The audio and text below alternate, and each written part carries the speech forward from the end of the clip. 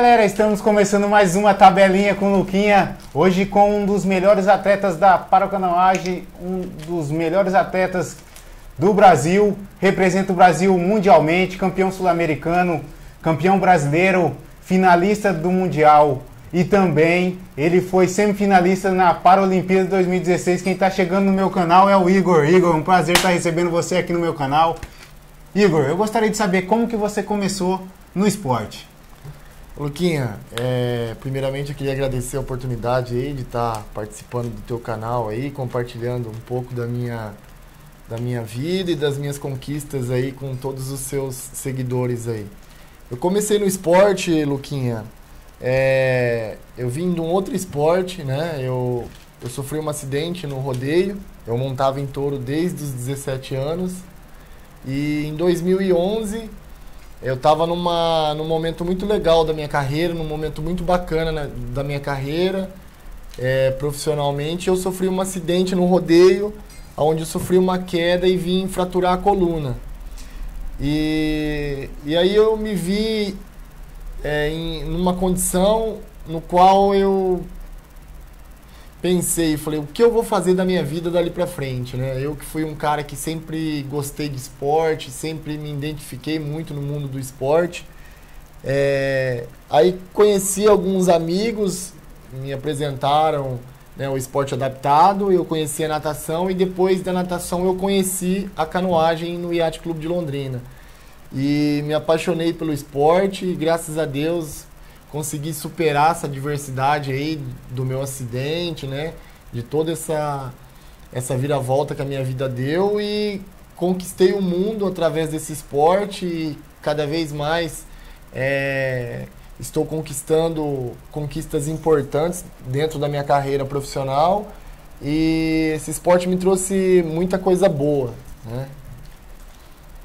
Igor, eu gostaria que você falasse para a galera é, as competições que você já participou e também os títulos que você já conquistou, que é o mais importante, né, do, do atleta é os títulos, né? Sim.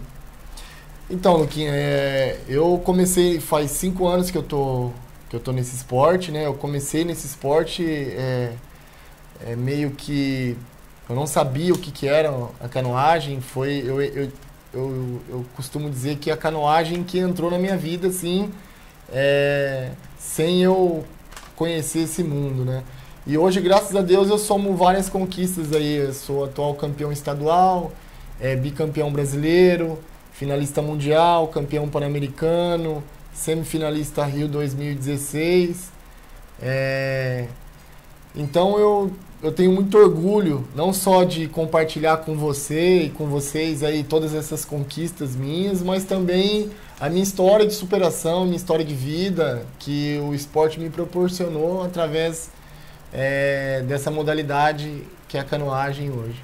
A canoagem é um esporte muito rápido, né? Então eu gostaria de saber de você é, qual, qual assim o, o obstáculo que você consegue, tipo assim, vamos dizer assim, surpreender através da canoagem. Um obstáculo principalmente, é, vamos dizer assim, particular, pessoal, vamos dizer assim, essa. Porque a canoagem eu acho que a concentração é um forte aliado, principalmente na competição, porque é, é mínimos detalhes que faz a diferença lá no final. Exatamente. É, a canoagem ele é um esporte que eu pratico individual, né? Então eu remo caiaque individual e a minha prova oficial é 200 metros. Então, é, por mais que você tenha se preparado, por mais que tem algum favorito, eu acho que a concentração, a dedicação, o foco, ele determina muito, né? É, quem pode ser né, o, o, campeão da prova, o primeiro lugar da prova, né? Porque é uma prova muito rápida. Então, às vezes, um erro, um detalhe faz toda a diferença. E, e a canoagem é um esporte no qual eu me apaixonei pela, pela sensação, pelo prazer de liberdade, de, vo de você poder remar em lugares né, extraordinários e poder ter essa sensação, essa liberdade como qualquer outra pessoa. Hoje eu remo com pessoas que não têm deficiência, né? E quem quem está vendo, quem está de fora não consegue né, perceber essa diferença devido a, a esse esporte, essa modalidade que, que propõe para os atletas. Ô Igor, a galera já espera no nosso programa, a galera já espera mesmo. É o Mitei. O Mitei é aquela história épica que todo atleta tem. Eu gostaria de saber qual que é o Mitei do Igor, do peão das águas. Qual que é o Mitei do Igor?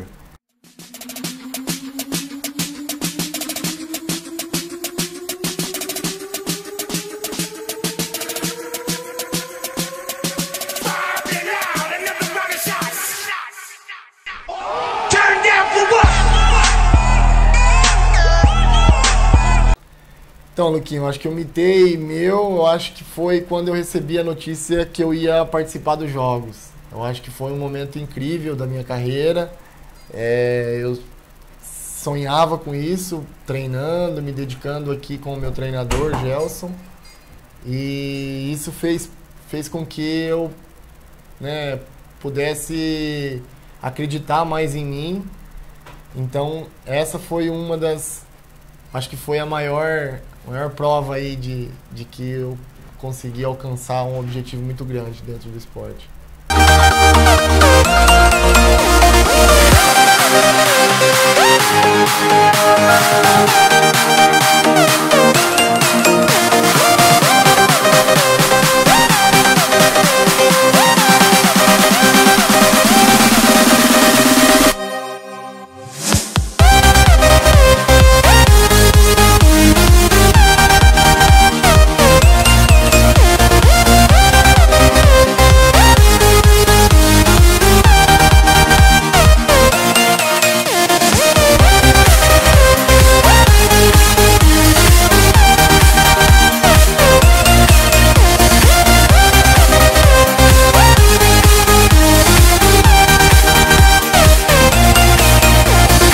Igor, eu gostaria de saber assim a, é, a diferença entre esporte, que você disputou é, o rodeio em alto nível também e a canoagem em alto nível. Qual que é a diferença dos esportes, assim, para a galera que está assistindo em casa?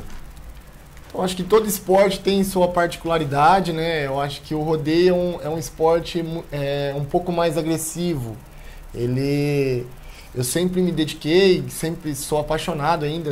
É, a maioria dos meus amigos é, são do meio do rodeio. Quero mandar um abraço para cada um de vocês também aí.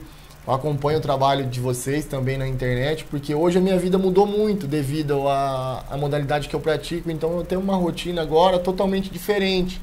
Então, às vezes, o final de semana que, que eu tenho para para descansar, para poder ficar com a família. Às vezes eu acabo desejando de não ir visitando um amigo, é porque realmente essa rotina mudou muito. Mas a modalidade é. A diferença é que. É que. Hoje eu. A minha arena é, é a água, né? O, uhum. meu, o meu local de trabalho é a água, então por isso que muita gente fala peão das águas. É, sou conhecido aí pela, pelas pessoas como peão das águas, então acho que a diferença da modalidade, eu acho que é só essa. Que o rodeio é um pouco mais agressivo, é um pouco, um pouco mais bruto, né? Mas é, dentro do, do esporte, dentro da modalidade, é, a dedicação, o empenho, né, o foco, ele tem que ser o mesmo, como qualquer outra modalidade.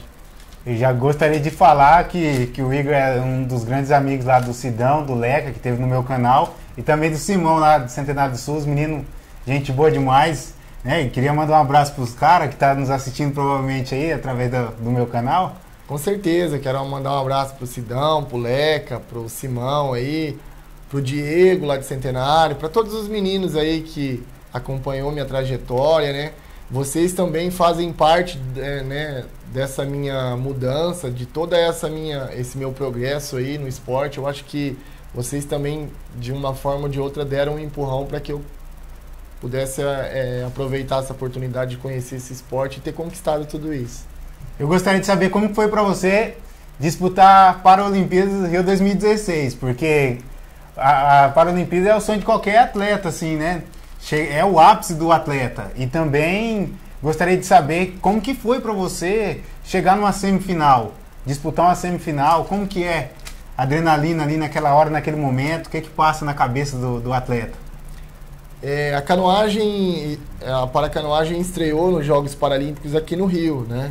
Então, para todos os atletas paralímpicos dentro da canoagem foi um momento único, porque ela estreou aqui no Rio 2016 e para mim foi uma uma euforia, um sentimento de de realização pessoal muito grande, né?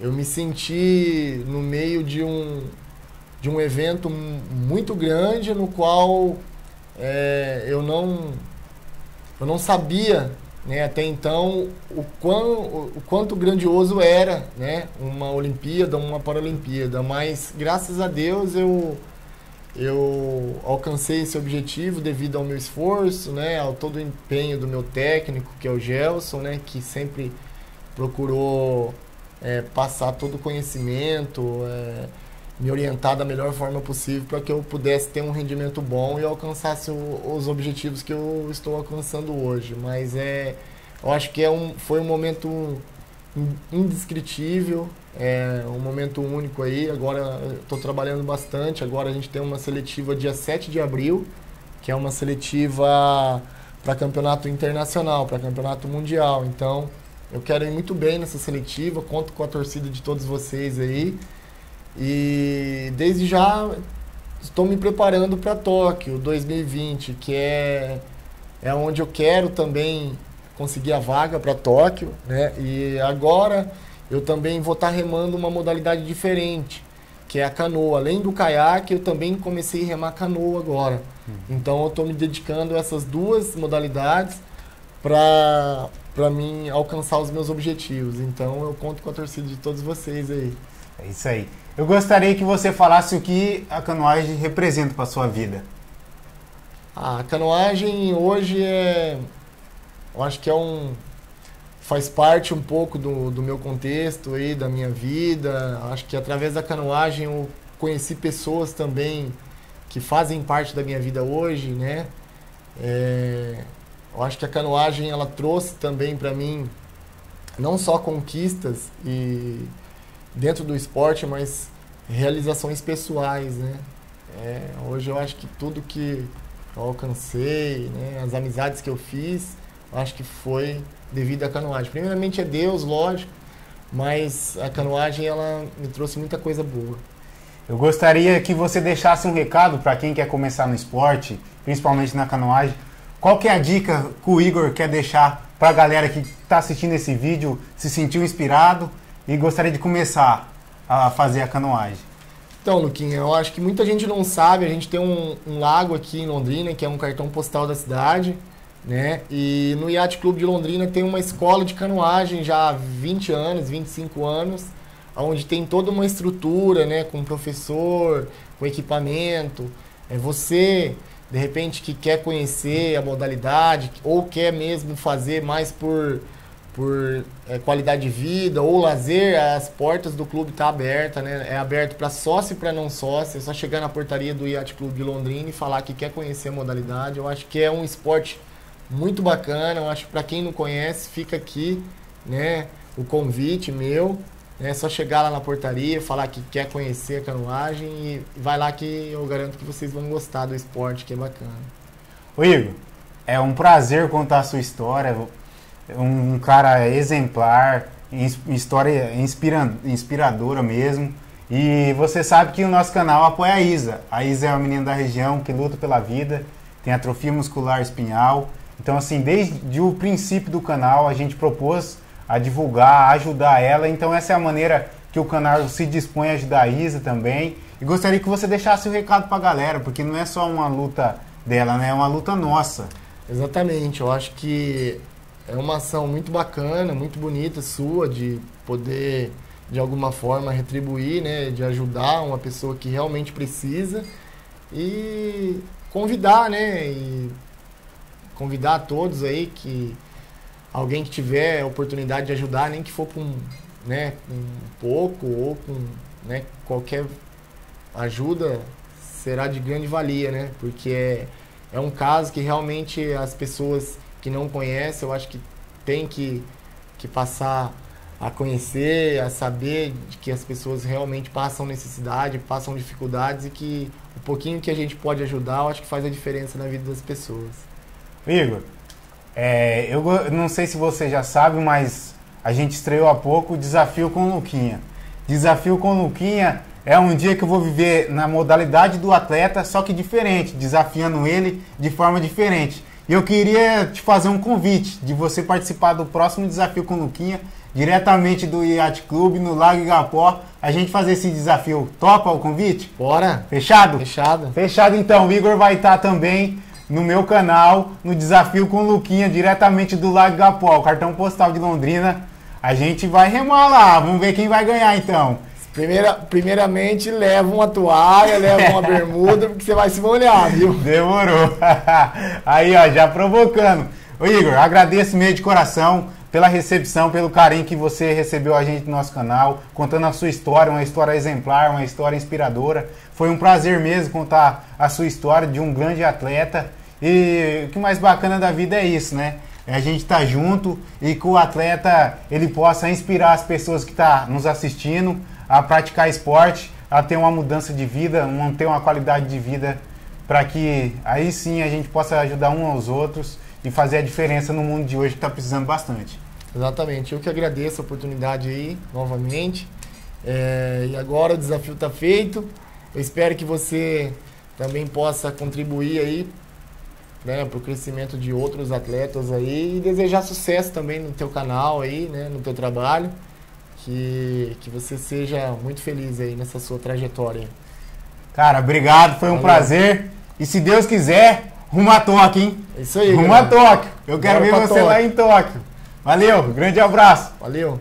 Tabelinha com Luquinha, porque aqui não é modinha, aqui é tabelinha com Luquinha. Valeu, Igor. Abraço. Valeu. Valeu.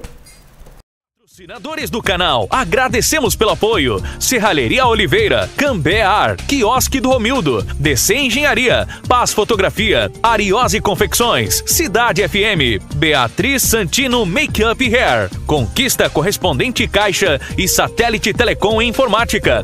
Vocês que confiam em elevar sua empresa para o cenário nacional e mundial, venham fazer parte do nosso canal, porque aqui não é modinha, aqui é tabelinha com Luquinha apoie a Isa, pratique esporte, se inscreva no canal, ative o sininho e dá um like e um forte abraço.